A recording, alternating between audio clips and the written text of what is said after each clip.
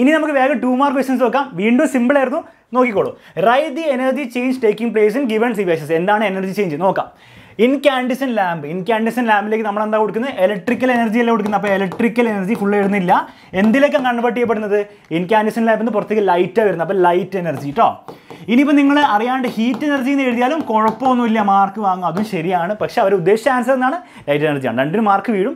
പേടിക്കേണ്ട ആവശ്യമില്ല. ഇലക്ട്രിക് മിക്സിയിൽ മിക്സിയിൽ എന്താണ് സംഭവിക്കുന്നത്? ഇലക്ട്രിക് എനർജിയാണ് വീണ്ടും നമ്മൾ ഇലക്ട്രിസിറ്റി കൊടുക്കണം. അപ്പോൾ ഇലക്ട്രിക്കൽ എനർജി കൊടുക്കുന്നു. എന്തായിട്ട് മാറുന്നു? മിക്സി കിടന്ന് റൊട്ടേറ്റ് ആകുന്നു അതെന്താണ്? മെക്കാനിക്കൽ എനർജിയാണ് അപ്പോൾ ഇങ്ങനെ എഴുതിയിട്ടുണ്ടെങ്കിൽ നിങ്ങൾക്ക് കറക്റ്റ് ആൻസറാണ് ഫുൾ മാർക്ക് അവിടെ വീണു. അപ്പോൾ രണ്ട് മാർക്ക് അവിടെ കിട്ടിയല്ലോ. സിമ്പിൾ ക്വസ്റ്റൻ ആയിരുന്നല്ലോ. ഒരു സംശയമില്ല നെക്സ്റ്റ് നോക്കാം. Name the part of a heating equipment in which the electric energy is converted into heat energy ഈ അയൺ ബോക്സിലും നമ്മുടെ സാധനത്തിലേക്ക് എന്ത് ഇലക്ട്രിക് എനർജി എന്ത് സാധനമാണ്? എന്ത് പാർട്ടാണ് നമ്മുടെ ഹീറ്റ് എനർജി ആയിട്ട് മാറ്റുന്നത്? ഹീറ്റിംഗ് കോയിലാണ് ഇതെല്ലാം അറിഞ്ഞിരിക്കേണ്ട കാര്യമല്ലേ? ബേസിക് സംഭവമാണ് അല്ലേ ഹീറ്റിംഗ് കോയിലാണ് അടുത്ത പാർട്ട് അപ്പോൾ ഹീറ്റിംഗ് കോയിലിന് എഴുതിയാലോ അല്ലെ വെറും കോയിലിന് എഴുതിയാലോ? ഇനിയിപ്പോൾ നിക്രോം എന്ന് എഴുതിയാലോ നിനക്ക് അവിടെ മാർക്ക് വീഴും. പേടിക്കേണ്ട ആവശ്യമില്ല. നെക്സ്റ്റ് ചോദിക്കുന്നത് name the substance use to make this part നമുക്കറിയാം നിക്രോമാണ് അല്ലേ? നമ്മൾ ലൈവ് ക്ലാസ്സിലൊക്കെ ചർച്ച ചെയ്ത കാര്യമാണ്. നിക്രോമിന്റെ പ്രോപ്പർട്ടി വരെ നമ്മൾ ചർച്ച ചെയ്തിട്ടുണ്ട്. പ്രോപ്പർട്ടി ചോദിച്ചില്ല പക്ഷേ സാധനം എന്താണെന്ന് ചോദിച്ചു. അപ്പോൾ അതേ ക്വസ്റ്റൻ ആണ് നമ്മൾ കണ്ടത്. അപ്പോൾ ലെവൻത്ത് ക്വസ്റ്റൻ നോക്കാം. Explain the difference between short circuit and overloading simple question ആണല്ലേ? എന്താണ് ഷോർട്ട് സർക്യൂട്ട് നമുക്കറിയാം ഒരു ബാറ്ററി അല്ലെ എന്തൊരു ഒരു സർക്യൂട്ടിന്റെ പോസിറ്റീവ് എൻഡും നെഗറ്റീവ് എൻഡും കൂടെ റെസിസ്റ്റൻസ് ഇല്ലാണ്ട് കണക്ട് ചെയ്താൽ അവിടെ എന്താണ്? അതാണ് ഷോർട്ട് സർക്യൂട്ട് അത്രയേ ഉള്ളൂ. പോസിറ്റീവ് എൻഡും നെഗറ്റീവ് എൻഡും കൂടെ റെസിസ്റ്റൻസ് ഇല്ലാണ്ട് കണക്ട് ചെയ്താൽ അവിടെ വലിയ കറണ്ട് ഉണ്ടാവും.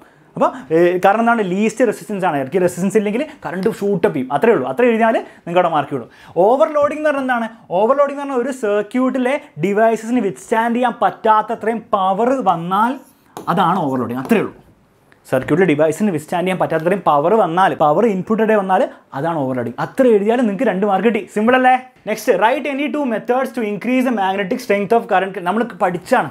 നമ്മൾ ലൈവ് ലൈവിലും അല്ലാത്ത സെഷൻസിലൊക്കെ ഡിസ്കസ് ചെയ്ത സാധനമാണ്. എങ്ങനെയാണ് സോളിനോഡിന്റെ ചുറ്റുമുള്ള മാഗ്നറ്റിക് ഫീൽഡ് സ്ട്രെങ്ത് കൂട്ടുക? നമ്മൾ പറഞ്ഞിട്ട് കുറേ മെത്തേഡ്സ് ഉണ്ടല്ലേ? ഒന്നെങ്കിൽ നമ്പർ ഓഫ് ടേൺസ് ഇൻക്രീസ് ചെയ്യുക. അല്ലെങ്കിൽ കറണ്ട് ഇൻക്രീസ് ചെയ്യുക. അല്ലെങ്കിൽ ഒരു സോഫ്റ്റ് അയൺ കോർ കൊണ്ടുപോയി ഉള്ളിൽ വെക്കുക. സോഫ്റ്റ് അയൺ കോർ തന്നെയാണ് ഉള്ളിൽ കയറ്റി വെക്കുക. അപ്പോഴും എന്താണ് മാഗ്നറ്റിക് ഫീൽഡ് ഇൻക്രീസ് ആവും. ഇനി അതുമല്ല വേറൊരു മെത്തേഡ് കൊണ്ട് എന്താണ് ഏരിയ ഇൻക്രീസ് ചെയ്യുക. Area of cross section of സോളിനോട് increase ചെയ്താലും. അപ്പോൾ ഇതിൽ ഏത് എന്താ വെച്ചിരിക്കുന്നത്? രണ്ട് രണ്ട് മെത്തേഡ്സ് അപ്പോൾ ഇതിൽ ഏതിൽ രണ്ടെണ്ണം എഴുതിയാൽ നിങ്ങൾക്ക് അവിടെ രണ്ട് മാർക്ക് കിട്ടും. സിമ്പിൾ ക്വസ്റ്റൻ നമ്മൾ ഡിസ്കസ് ചെയ്ത ക്വസ്റ്റൻ ആയിരുന്നു. എല്ലാവർക്കും കറക്റ്റ് കിട്ടിയിരിക്കണം. ഓക്കെ നെക്സ്റ്റ് നമുക്ക് തേർട്ടീൻ ക്വസ്റ്റൻ നോക്കാം. തേർട്ടീൻ ക്വസ്റ്റൻ എന്താണ്? Observe the figure of a moving coil out speaker moving coil out speaker ആണ് അവർ പറഞ്ഞിട്ട് ഈ ക്വസ്റ്റൻ ഉണ്ടല്ലോ ലേബിൾ ഞാൻ വീണ്ടും വീണ്ടും പറഞ്ഞാണ് ലൈവിലും പറഞ്ഞാണ് ലൈവിന് മുമ്പുള്ള സെഷൻസിലൊക്കെ പറഞ്ഞാണ് വരും വരും വരുന്നത്. അതേ സെയിം പാർട്സ് ആണ് ചോദിച്ചിരിക്കുന്നത്. എ എന്താണ്?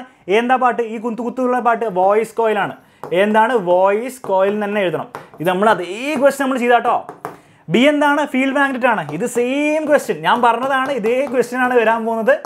വേറെ ഒന്നും ചോദിക്കില്ല ഇതേ പാർട്സ് ലേബിൾ ചെയ്യാൻ പറഞ്ഞു അപ്പോൾ ഇത് പഠിച്ചവർക്ക് ഇത് രണ്ട് മാർക്ക് ചെയ്യുക അങ്ങോട്ട് പോവാം.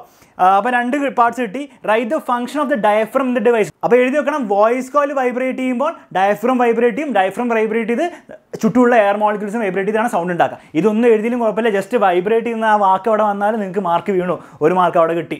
One plus one is equal to two mark അവിടെ വീണു. Next write any two relevant first aids to be given in the case of electric shock നമുക്കറിയാം കുറേ ഫസ്റ്റ് എയ്ഡ് നിങ്ങൾ പഠിച്ചിട്ടുണ്ടാവും. എന്താണ്? ഒന്ന് മെയിനായിട്ട് സി പി ആർ കൊടുക്കുക അല്ലെ? മൗത്ത് ടു മൗത്ത് ബ്രീത്ത് ചെയ്ത് കൊടുക്കുക. രണ്ടാമത്തെ എന്താണ്? എന്ത് സോഴ്സ് ആണോ ഇലക്ട്രിക് ഷോക്ക് ഉണ്ടാക്കി അത് നമ്മൾ എന്തെങ്കിലും നോൺ കണ്ടക്റ്റീവ് മെറ്റീരിയൽ വുഡ് എല്ലാം അടിച്ചിട്ട് മൂവ് ചെയ്യണം നമ്മുടെ പേഴ്സൺ എടുക്കുന്നത് അല്ലേ? അപ്പോൾ ആ നോൺ കണ്ടക്റ്റീവ് മെറ്റീരിയൽ വെച്ചിട്ട് നമ്മുടെ ഷോക്ക് അടിച്ച ആളെന്ന് ഈ സോഴ്സ് എന്ത് ചെയ്യണം? മാറ്റുക മൂവ് ചെയ്യുക. ഇത്ര എഴുതിയാൽ നിങ്ങൾക്ക് അവിടെ രണ്ട് മാർക്ക് വീണു. ഇനി അല്ലാത്ത കുറച്ച് വേറെയും ഫസ്റ്റ് എയ്ഡ്സ് ഉണ്ട്. അതിൽ ഏതിലൊക്കെ എഴുതിയാൽ മതി കുഴപ്പമൊന്നുമില്ല. അപ്പം അവിടെ രണ്ട് മാർക്ക് സിമ്പിളായിട്ട് വീണു. നെക്സ്റ്റ് നോക്കാം. Explain the following electromagnetic induction എന്താണ് electromagnetic induction when the magnetic flux linked with the coil changes and E M F is induced ഇത് ഇത്ര എഴുതിയാൽ സംഭവം കിട്ടി. ഇനി ഇ എം എഫ് ഇൻഡ്യൂസിന് പകരം കറണ്ട് ഇൻഡ്യൂസിന് എഴുതിയാലും കുഴപ്പമൊന്നുമില്ല. ഇനി ഇൻഡ്യൂസ് എന്നുള്ള വാക്ക് എഴുതിയില്ലെങ്കിലും കുഴപ്പമില്ല. ഐഡിയ എന്താണ്? Magnetic flux or magnetic field lines എന്ന് എഴുതിയാലും കുഴപ്പമില്ല. ലിങ്ക്ഡ് വിത്ത് എ കോയിൽ ഒരു വയർ ചേഞ്ചസ് ചേഞ്ചസ് എന്നുള്ള വാക്ക് വേണം. എന്ത് സംഭവിക്കും? അവിടെ E M F induced is induced അല്ലെ കറണ്ട് ഇസ് ഇൻഡ്യൂസ്ഡ് ഇത്ര എഴുതിയാൽ നിങ്ങൾക്ക് അവിടെ ഒരു മാർക്ക് വീണു. ഇനി ബി പാർട്ട് എന്താണ് ചോദിച്ചിരിക്കുന്നത്? ഇൻഡ്യൂസ്ഡ് ഇ എം എഫ് എന്താണെന്ന്. നമ്മൾ ഓൾറെഡി പറഞ്ഞു എന്നാലും ഒന്നുകൂടി എഴുതി വെക്കുക എന്താണ്? ഒരു വയറിലൂടെ പാസ് ചെയ്യുന്ന magnetic flux change magnetic flux flux change ചെയ്യുമ്പോൾ അവിടെ ഉണ്ടാകുന്ന ഒരു ഇ എം എഫ് ഉണ്ട്. ഇ എം എഫ് ഉണ്ട്. അതിനെയാണ് നമ്മൾ ഇൻഡ്യൂസ് ഇ എം എഫ് വിളിക്കുക. അത്രേ ഉള്ളൂ. അത്ര എഴുതി വെച്ചാൽ മതി. ആ ഇ എം ആ ഇ എം എഫ് അപ്പോൾ ഉണ്ടാകുന്ന ഇ എം എഫിനാണ് നമ്മൾ ഇൻഡ്യൂസ്ഡ് ഇ എം എഫ് എന്ന് വിളിക്കുക. ഇനി ഇ എം എഫിന് വരെ നിങ്ങൾ വോൾട്ടേജ് എന്ന് എഴുതിയാലും പൊട്ടൻഷ്യൽ ഡിഫറൻസ് എഴുതിയാലും ഒക്കെ നിങ്ങൾക്ക് മാർക്ക് കിട്ടും. അവിടെ ഒരു മാർക്ക് വേണം. അപ്പോൾ സംഭവം മനസ്സിലായില്ല? ഒരു വയറിലൂടെ പാസ് ചെയ്യുന്ന മാഗ്നറ്റിക് ഫ്ലക്സിന് ചേഞ്ച് വരുമ്പോൾ ആ വയറിൽ ഉണ്ടാകുന്ന ഇ എം എഫിനെയാണ് നമ്മൾ ഇൻഡ്യൂസ്ഡ് ഇ എം എഫ് എന്ന് വിളിക്കുക. അല്ലെങ്കിൽ പൊട്ടൻഷ്യൽ ഡിഫറൻസോ വോൾട്ടേജിനാണ് നമ്മൾ ഇൻഡ്യൂസ്ഡ് ഇ എം എഫ് എന്ന് വിളിക്കുക. അത്ര എഴുതിയാൽ സംഭവം റെഡി ഒബ്സർവ് ദ ഫിഗർ ഇതാണ് നമ്മുടെ ടെക്സ്റ്റ് നമ്മുടെ ക്വസ്റ്റൻ പേപ്പറിൽ വന്ന ഫിഗർ ഈ ഫിഗർ ഒബ്സർവ് ചെയ്തു ഓക്കെ ഒബ്സർവ് ചെയ്തു. അടുത്ത് നോക്കണ്ട write the angle of incidence നിങ്ങൾ ചാടി കയറി ഫോർട്ടി ഡിഗ്രി എന്ന് എഴുതിയിട്ടുണ്ടെങ്കിൽ അവിടെ നിങ്ങൾക്ക് മാർക്ക് പോകും കേട്ടോ അപ്പോൾ കാരണം എന്താണ്? ഫോർട്ടി ഡിഗ്രി ഇൻസിഡന്റ് ആംഗിൾ അല്ല. ഇൻസിഡന്റ് ആംഗിൾ എന്ന് പറഞ്ഞാൽ ഏതാണ്? നോർമലുമായിട്ട് ഇൻസിഡന്റ് റേ ഇൻസിഡന്റ് റേ ഉണ്ടാക്കുന്ന ആംഗിളാണ് ഇൻസിഡന്റ് ആംഗിൾ നോർമലുമായിട്ട് ഉണ്ടാക്കുന്ന ആംഗിൾ അപ്പോൾ ഈ ആംഗിളാണ് ഈ ആംഗിൾ എങ്ങനെ കണ്ടുപിടിക്കുക? നമുക്കറിയാം മൊത്തം ഇത് മൊത്തം എത്രയാണ് ഇവിടെ മുതൽ ഇവിടെ വരെ എത്രയാണ്? നയന്റി ഡിഗ്രിയാണ് ഇത് ഫോർട്ടി ഡിഗ്രിയാണ് അപ്പോൾ ഇത് എന്തായിരിക്കും? ഫിഫ്റ്റി ആണ്. അല്ലേ? Fifty plus forty equal ninety അപ്പോൾ ഐ എന്താണ് ഈ കേസിൽ ചോദിച്ചിരിക്കുന്ന ആൻസർ എന്താണ്? ഫിഫ്റ്റി ഡിഗ്രിയാണ് കേട്ടോ അപ്പോൾ അത് തെറ്റിയിട്ടുണ്ടെങ്കിൽ കെയർലെസ് മിസ്റ്റേക്കാണ് പേടിക്കേണ്ട ആവശ്യമില്ല. നിങ്ങൾക്ക് വേറെ എവിടെയും മാർക്ക് കിട്ടിയിട്ടുണ്ടോ? പേടിക്കേണ്ട ആവശ്യമില്ല. അപ്പോൾ ഇത് വൺ മാർക്ക് കിട്ടി. Write the relation between angle of incidence I A I is equal to R ഇതൊക്കെ സിമ്പിൾ ക്വസ്റ്റ്യൻസ് ആണ്. നിങ്ങൾക്ക് എ പ്ലസ് വാരിക്കൊന്ന് കോരി തന്നിരിക്കുകയാണ് എല്ലാവരും എല്ലാ ക്വസ്റ്റ്യനിലും ഓക്കെ സിമ്പിൾ ക്വസ്റ്റ്യൻ ആയിരുന്നു. When the object is place at a distance of thirty centimetre in front of a mirror and image is obtain at fifteen centimetre ഇത് സെയിം ക്വസ്റ്റ്യൻ ഞാൻ ഡിസ്കസ് ചെയ്തിരുന്നു. മിറർ ഏതാ തന്നിട്ടില്ല same side thirty centimetre number മാത്രം മാറിയിട്ടുള്ളൂ. Thirty centimetre fifteen centimetre same സൈഡിൽ നമ്മൾ same question discuss ചെയ്തു. ഇത് ചോദിച്ചത് എന്താണ്?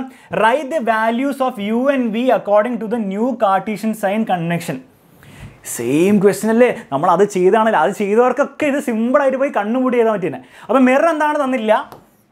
എന്നിട്ട് പറയുകയാണെന്ത് ഇതെന്താണ്? Object is placed object thirty centimetre ആണ് വെച്ചിരിക്കുന്നത്. അപ്പം ഇത് തേർട്ടി സെന്റിമീറ്റർ ആണ്. ഓക്കെ റെഡി ഇനി in front of a mirror എന്തോ മിറർ ആൻഡ് ഇത് പോളാണ് ഇത് pole and image is obtain at fifteen centimetre on the same side ഈ സെയിം സൈഡിൽ തന്നെ കിട്ടിയത് അപ്പോൾ ഫിഫ്റ്റീൻ സെന്റിമീറ്റർ ഏതാണ്ട് ഇവിടെ വരും. ഫിഫ്റ്റീൻ സെന്റിമീറ്റർ ഇത് ഫിഫ്റ്റീൻ സെന്റിമീറ്റർ ഓക്കെ റെഡി അപ്പോൾ ഇത് ഒന്ന് ചിലവർക്കൊക്കെ ഓൾറെഡി ആൻസർ കിട്ടിയിട്ടുണ്ടാവും. എന്നാലും കുഴപ്പമില്ല. തേർട്ടി സെന്റിമീറ്റർ ഫിഫ്റ്റീൻ സെന്റിമീറ്റർ ഇതിൽ ചോദിക്കുന്നത് എന്താണ്? Write the values of U and V according to the new Cartesian side convention simple അല്ലേ? യു ആണ് ഇതാണ് ഇതാണ് ബേസിക്കലി യു അല്ലേ? ഇത് യു ഇത് വി പക്ഷേ സൈന് സൈൻ അനുസരിച്ച് എഴുതണം. അപ്പം എ പാർട്ടിൽ എങ്ങനെ എഴുതണം? യു ഇസ് ഈക്വൽ ടു എന്താണ്? വെറും തേർട്ടി എഴുതിയാൽ മാർക്ക് കിട്ടില്ല മൈനസ് തേർട്ടി എഴുതണം. കാരണം എന്താണ്? നമ്മൾ പോളിൽ നിന്നാണ് ഡിസ്റ്റൻസ് മെഷർ ചെയ്യുക പോളിൽ നിന്ന് ലെഫ്റ്റിലേക്കുള്ളതൊക്കെ നെഗറ്റീവ് പോളിൽ നിന്ന് റൈറ്റിലേക്കുള്ളതൊക്കെ പോസിറ്റീവ് ഇതെവിടെയാണല്ലോ പോളിൽ നിന്ന് ലെഫ്റ്റിലേക്കാണ് അപ്പോൾ മൈനസ് തേർട്ടി വി എന്താണ്? വി വാല്യൂ എത്രയാണ്? ഫിഫ്റ്റീൻ സെന്റിമീറ്റർ ആണ്. പക്ഷേ അതും ലെഫ്റ്റിലേക്കാണ് അതുകൊണ്ട് അതും മൈനസ് ഫിഫ്റ്റീൻ സെന്റിമീറ്റർ ഇത്ര എഴുതിയാൽ ഇവിടെ എന്താണ്? ഒരു മാർക്ക് വീണു. സൈൻ ഇല്ലാണ്ട് എഴുതിയാൽ മാർക്ക് പോകും കേട്ടോ അത് ശ്രദ്ധിക്കണം. Calculate the focal length of the given mirror simple അല്ലേ? നമ്മുടെ മിറർ ഇക്വേഷൻ ഉപയോഗിക്കുക. One by F is equal to one by B plus one by U ഇനിയിപ്പോൾ നിങ്ങൾ മറ്റേ ഇക്വേഷൻ ഉപയോഗിച്ചാലും കുഴപ്പമില്ല. V U plus U plus V എന്ന് ഉപയോഗിച്ചാലും കുഴപ്പമൊന്നുമില്ല. ബൈ യു പ്ലസ് വി ആണ്. ഇതെങ്ങനെ ചെയ്യും? ബേസിക്കലി നമുക്കറിയാം വൺ ബൈ വി എന്താണ് minus one by minus fifteen ആണ്.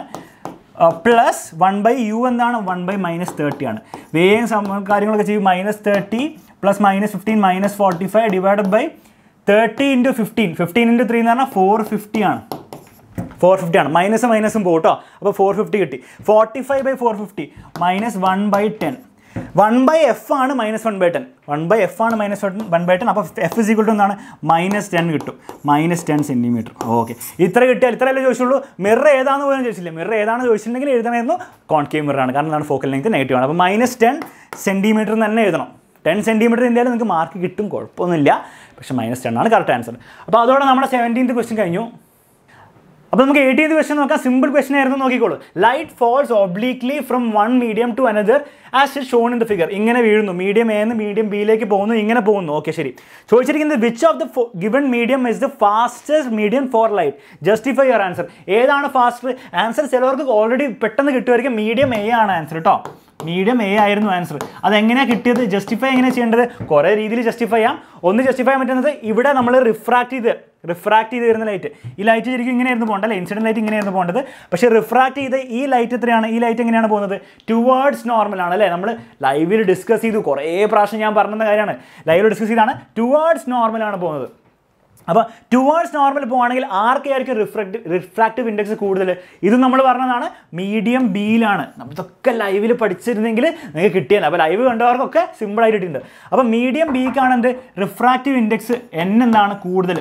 റിഫ്രാക്റ്റീവ് ഇൻഡെക്സ് കൂടുതൽ മീഡിയം ബിക്കാന്ന് മനസ്സിലായി. ഇനി നമുക്കറിയാം റിഫ്രാക്റ്റീവ് ഇൻഡെക്സും വെലോസിറ്റി ഓഫ് ലൈറ്റും ഇൻവേഴ്സ്ലി റിലേറ്റഡ് അതായത് n is directly proportional to one by v അല്ലെങ്കിൽ n is inversely proportional to v ഇത് അറിയാണെങ്കിൽ നമുക്കറിയാം എൻ കൂടുമ്പോൾ എന്താണ്? വി കുറയും. അപ്പം ഈ മീഡിയത്തിന് എൻ കൂടുതലായതുകൊണ്ട് എന്താണ് വി കുറവായിരിക്കും. ഇവിടെ വെലോസിറ്റി കുറവായിരിക്കും. അതിന്റെ അർത്ഥം എന്താണ്? ഇവിടെയായിരിക്കും വെലോസിറ്റി മാക്സിമം അപ്പോൾ ആൻസർ എന്താണ്? മീഡിയം എ കറക്റ്റ് അല്ലേ? സിമ്പിൾ അല്ലേ? ഇനിയിപ്പോൾ നിങ്ങൾ ഇൻവേഴ്സ്ലി പ്രൊപ്പോഷൻ എഴുതിയില്ലെങ്കിൽ നിങ്ങൾ വേറെ ഫോർമുല ഉണ്ടല്ലോ അല്ലേ? N two by n one is equal to എന്താണ്? V one by v two അപ്പോൾ നമുക്ക് എൻ ടു ഗ്രേറ്റർ ആണ് ദാൻ എൻ വൺ അതുകൊണ്ട് എന്തായിരിക്കും? V one will be greater than v two എന്ന് എഴുതിയാലും കുഴപ്പമില്ല. എന്താണ്?